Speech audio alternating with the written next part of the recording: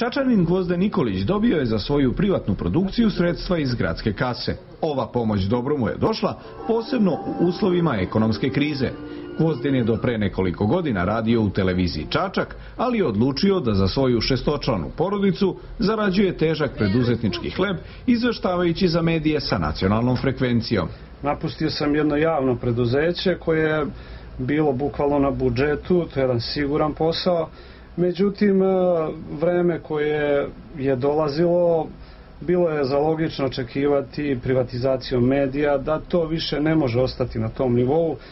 Odlučio sam se da osnujem ovu produkciju. Konkretno u ovoj produkciji radi nas četvoro, a sa druge strane ovde zarađujemo nešto od čega živi nas šest u kući.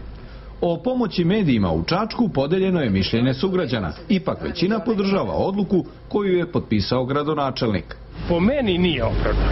Podržavam takvu odluku.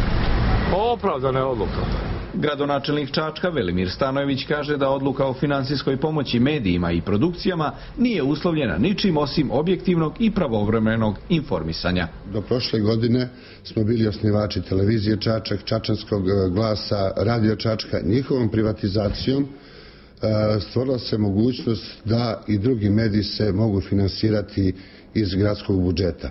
To su daleko manja sredstva nego što nam ranije trebalo za funkcionisanje naših javnih preduzeća koji se bavile informisanjem. Oko 5 miliona dinara iz gradske kase biće raspodeljeno čačanskim medijima sa kojima su do sada potpisani ugovori, ali i sa onima sa kojima će to biti učinjeno narednih dana. Iako se po prvi put na ovaj način finansira rad čačanskih medija, gradonačelnik je najavio da će se to nastaviti i narednih godina.